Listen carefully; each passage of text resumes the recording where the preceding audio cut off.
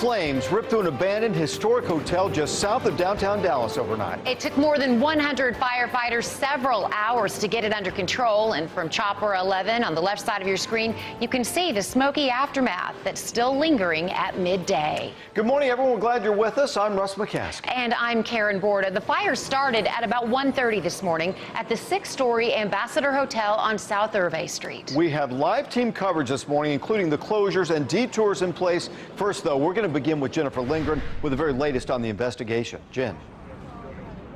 Well, Russ, just in the last couple of minutes out here, firefighters stopped pouring water onto the remains of the hotel. It had been going nonstop for the last 10 hours, though it is still not at all safe for investigators to get close enough to this building to begin digging around looking for physical evidence of the cause of the fire.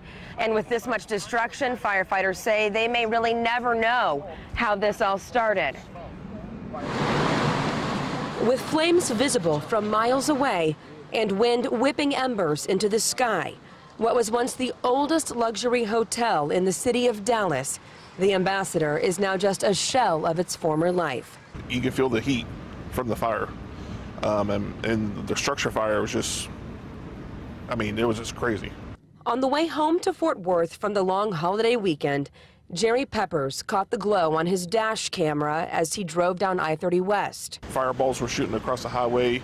Uh, we were able to feel the heat with our windows up from our vehicle. Up close, more than 100 Dallas firefighters poured water onto the building from every angle.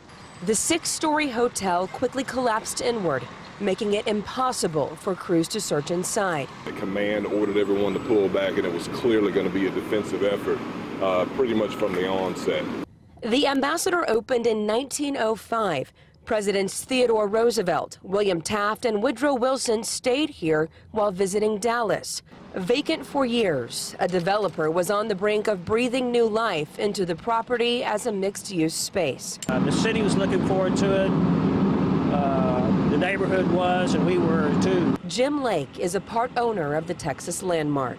This has probably been the most complex and uh, difficult redevelopment project I've ever worked on, but we felt that it's so important for the city with a history. Lake hopes some bricks or material can be repurposed, but knows it will never be the same.